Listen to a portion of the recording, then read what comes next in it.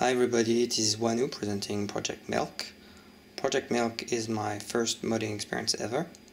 Uh, I built up computers uh, for myself all my life, but I never actually modify anything uh, from the stock specifications.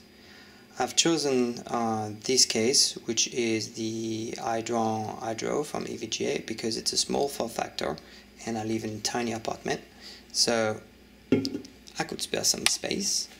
Uh, so you see it's, it's, pretty, it's pretty small, uh, which is awesome. This build is made around the Micro ITX Z97i Plus from Asus. Uh, it has 16 giga of RAM from G.Skill. Uh, this RAM is certified to 2.1 gigahertz, but you can overclock it to like uh, 2.4. I've seen people doing this, so it's uh, pretty fast. The CPU is Intel 4770K, uh, on which I actually removed the head spread and uh, I put the water block directly on a bare die. I'll let you look into the block for the details, but the goal of this is to remove as many calories as possible and as fast as possible. So it's good for overclocking, for example. The GPU is an NVIDIA 780 from EVGA on which I put a water block from EK. Uh, this water block come frosted, I polished it for the looks and also I put some uh, LEDs on the back of it, custom uh, custom lightning that I, that I did.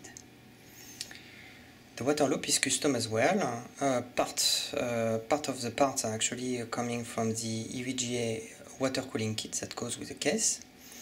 For example, the I kept the radiator from this kit and also the back fixing uh, fittings because they, uh, they you know they, they do the job pretty well. And also they are in hard metal, which is great because they are outside.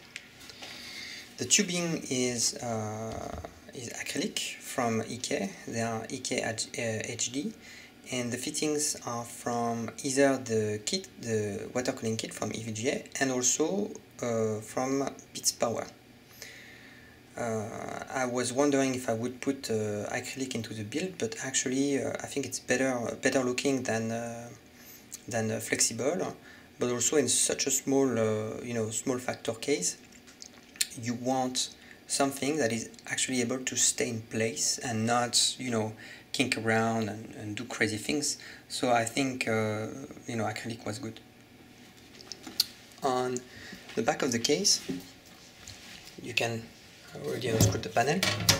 You can find the hard drive. Hard drive is a Seagate Barracuda Fortera.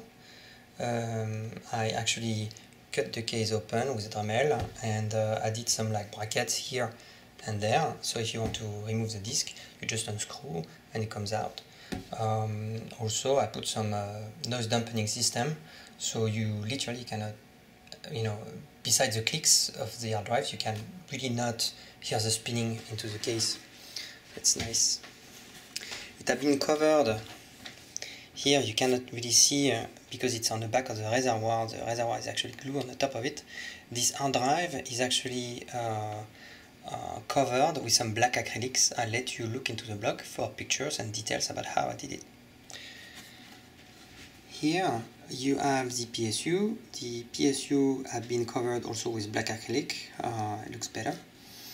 And I made this PSU uh, modular, which is probably not the right term, but what I did is I cut the, all the cables very short and everything you see, uh, for example, these cables uh, for the GPU are extensions.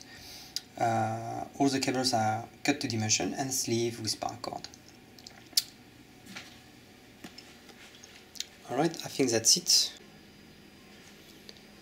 So let's switch it on.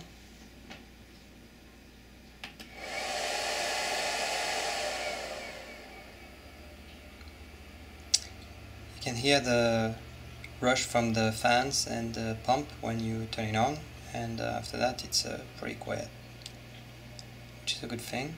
Uh, I had to turn the lights the lights down uh, for you to see actually the lightning because uh, the case is kind of shiny so any light outside it's very visible on the camera. It's not so much visible uh, on the eyes, but really on the camera, everything shine. Look at the screen. I mean, seriously. Okay, so here on the reservoir, I have one hole uh, with a LED. Uh, it was pre-drilled, so easy to do. And here I had to drill uh, three holes with uh, three LEDs and a custom lighting. Okay, so that's it for the presentation of uh, Project Milk.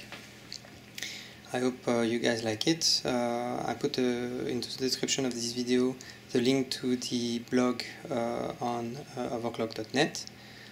If you have any question, let me know.